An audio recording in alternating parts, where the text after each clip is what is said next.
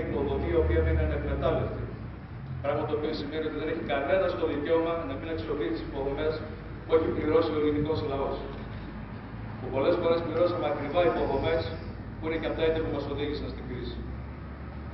Με πολλαπλά λοιπόν μηνύματα μέσα από τις επιλογές και τις πρωτοβουλίες που πήραμε, το αποτέλεσμα που φέραμε να λέγαμε σήμερα, να λέμε σήμερα ότι τα καταφέραμε, έτσι πρέπει να πορευτούμε και στο άλλο.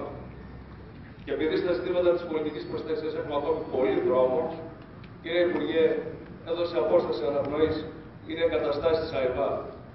Εδώ λοιπόν το επόμενο βήμα είναι η δημιουργία του Διεθνούς Κέντρου Πολιτικής Προστασίας, όπου είναι ένα φυσικό ανοιχτό εργαστήρι, που με πολύ λίγα, που με πολύ λίγες, αν θέλετε, παρεμβάσεις, με πολύ λίγους πόρους, θα αποτελέσει πρότυπο για όλη την Ευρώπη και τα Βαλκάνια.